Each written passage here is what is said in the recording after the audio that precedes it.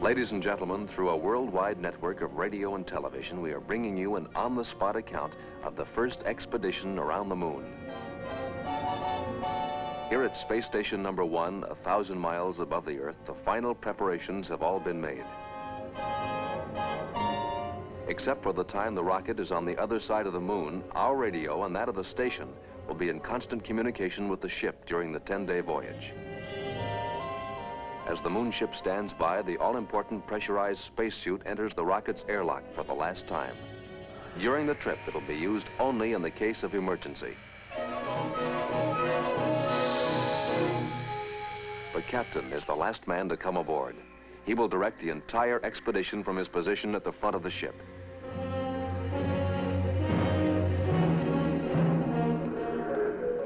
Navigator with his specialized instruments is responsible for plotting the unmarked path through space. The radio operator must maintain constant communication with the Earth and the space station. Finally, the rocket ship's motor and other mechanical functions will be the responsibility of the engineer.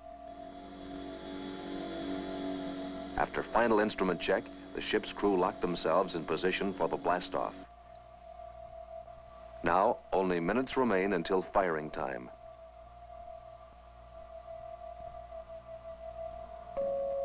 The captain sets the automatic firing timer and reports to the space station. RM1 to Station 1. Firing timer is engaged. We will begin power maneuver for departure in exactly 16 hours, 23 minutes, 47 seconds.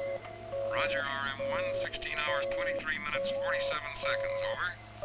Crew will secure and stand by for firing in 8-4 seconds. Acknowledge. Navigator, check. Radio okay. Engineer, check.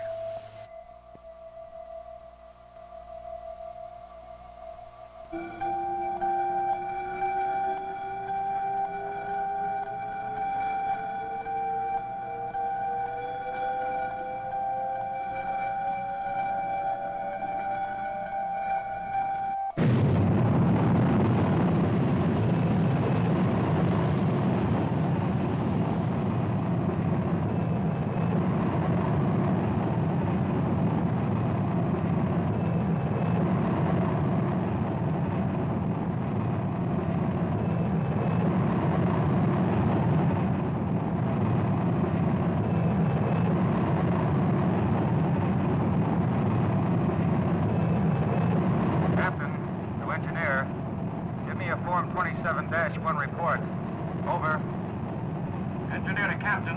motor pressure 447 psi, 3 low. Turbo pump 11,000 RPM, right on the button. Actuators steady, guidance readings okay. Cabin pressure 0.3 psi low. Cabin temperature 72 degrees, over.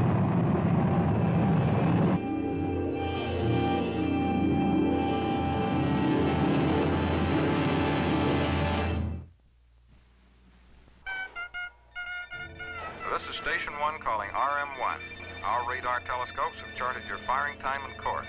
Give us a voice report for instrument error check. Over. Well, we're on our way. Joe, how about another report? Our firing time was 10 minutes, 0.35 seconds. Cutoff velocity, 21,888 miles per hour. Cutoff altitude, 1,765.2 miles. 1.6 low. Okay. Now let's double check that star tracker with an optical and radar fix. Right.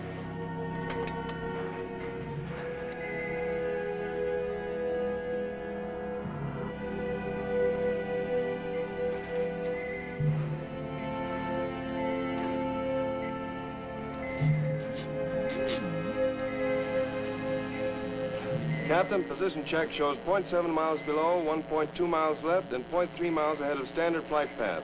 We have only a 0.03% error in azimuth reading. Sounds good. Bill, let's transmit all your tape reports to the station.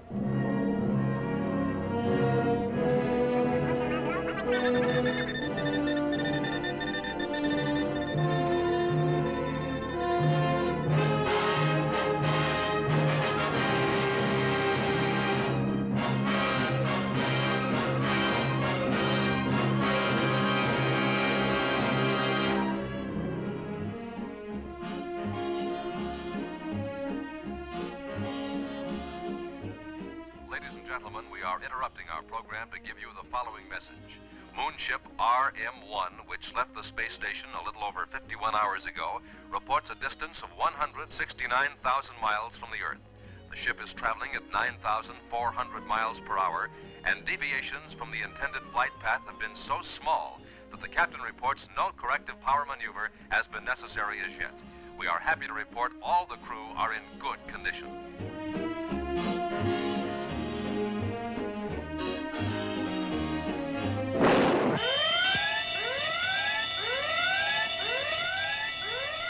Check console, Joe. Try to pick it up. Station one to Bill, is your electrical system working? Emergency condition. Repeat. Verify. Over.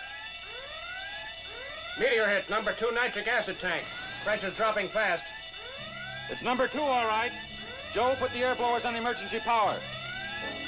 Frank, get in the bottle suit and patch that hole. Don't use your motors near that leak. Try to reach it with the gripping arm.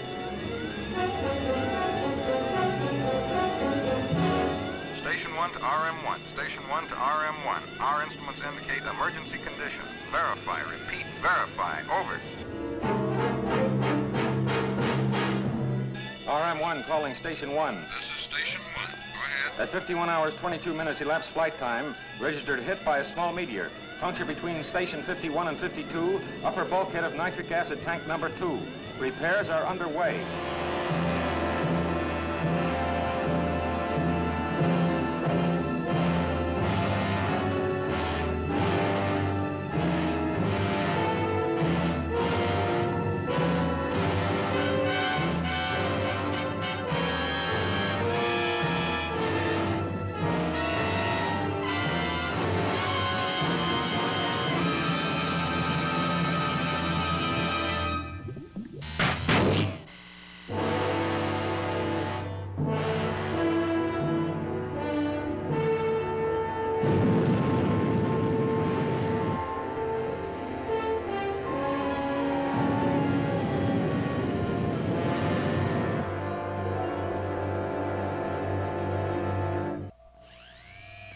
RM1 to Station 1.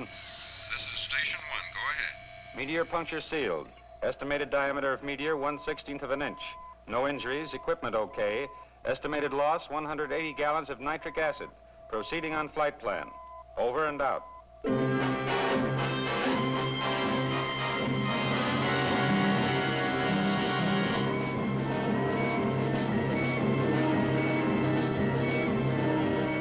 Station 1, this is RM1. At 110 hours, we are beginning measurements at rim of the moon for accurate position fixes. We are now picking up the unknown side of the moon. Bill, give me an altitude reading. Okay.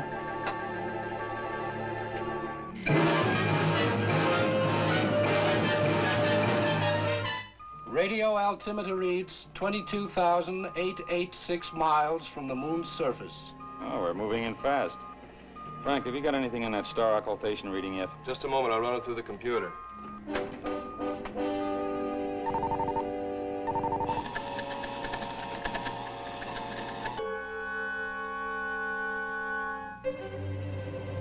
Captain, we're approaching the moon on ellipse 29.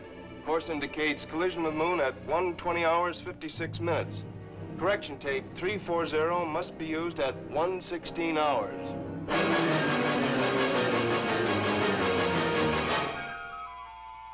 As the 116th hour approaches, the navigator must act quickly to avoid a collision with the moon. He starts the tape selector, which will automatically correct the rocket's course by firing the motors for a precise number of seconds.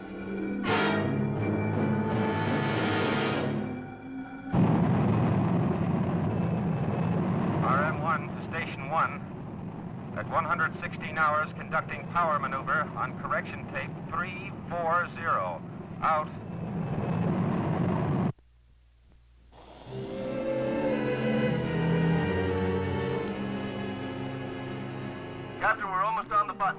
Button. We'll pass the moon surface at 63 miles instead of 60. Close enough. We'll make the correction on our return maneuver. Joe, set the spatial attitude control to keep us lined up with the flight path tangent.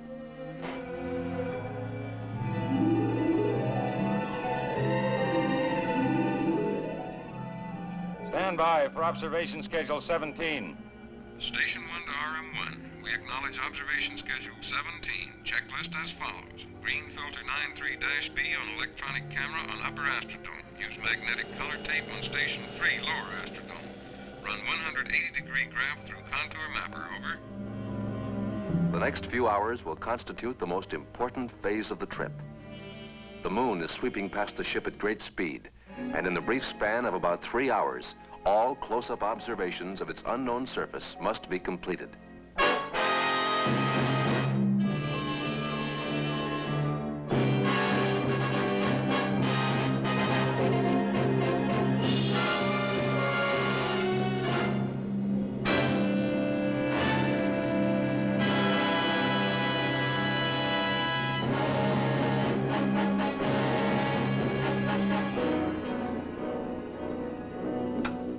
RM1, Station 1. We are now seeing the Earth disappear behind the moon's rim.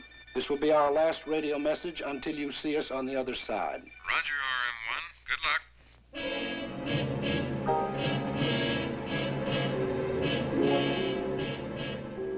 I see what looks like a tremendous crater ahead.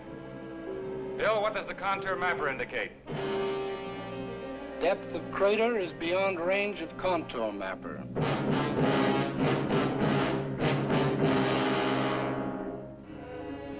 Reach the day and night terminator in five minutes.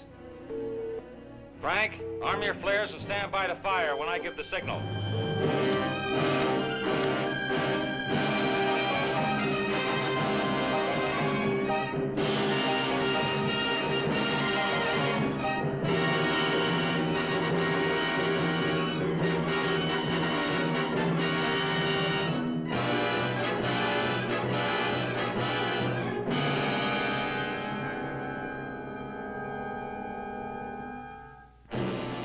Okay, Frank. Fire your flares at three-minute intervals.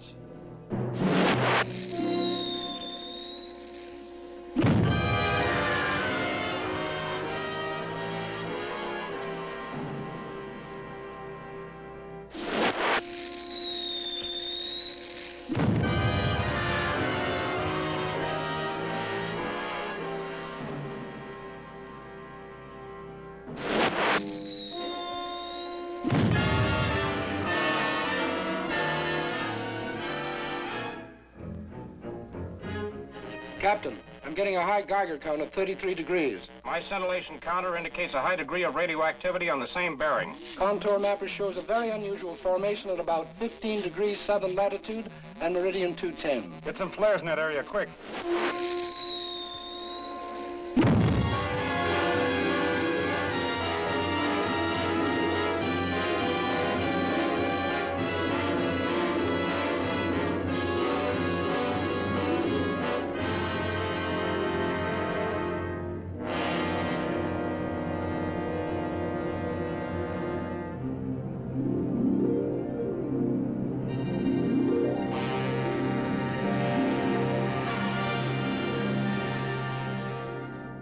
RM1 to Station 1, do you read us? Over. Roger, RM1. We read you weak but clear. Over. At 123 hours, we are observing the Earth emerging from behind the moon. We will leave moon shadow at 124 hours, 14 minutes. Our ETA in orbit is 241 hours, 27 minutes. After three hours of total darkness, the ship breaks from the moon shadow into the glaring sunlight to continue on its five-day return trip. The irresistible power of the Earth's gravity has now changed the rocket's direction and is pulling it with ever-increasing speed back to the space station.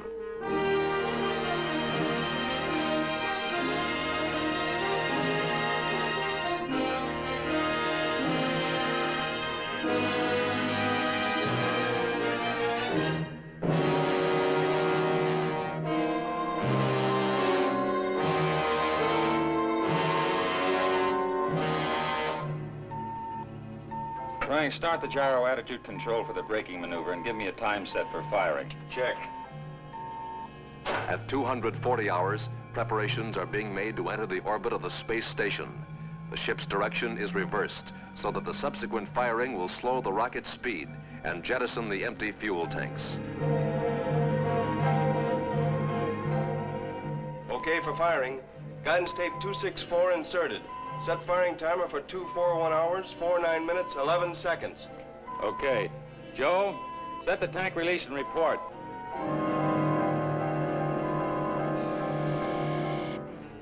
Fuel tank set for release. Firing timer set. Stand by for power maneuver in three five seconds.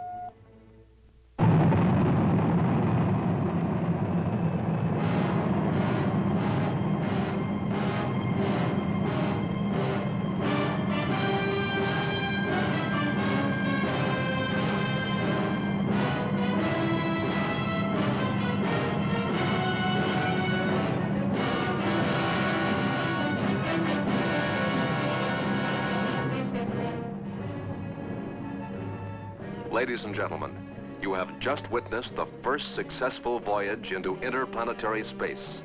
This pioneer trip around the moon will soon be followed by an expedition which will actually land on the moon's surface. Even now, construction is going forward on the atomic-powered rocket ship that will challenge the limitless depths of space and solve the mystery of the red planet Mars.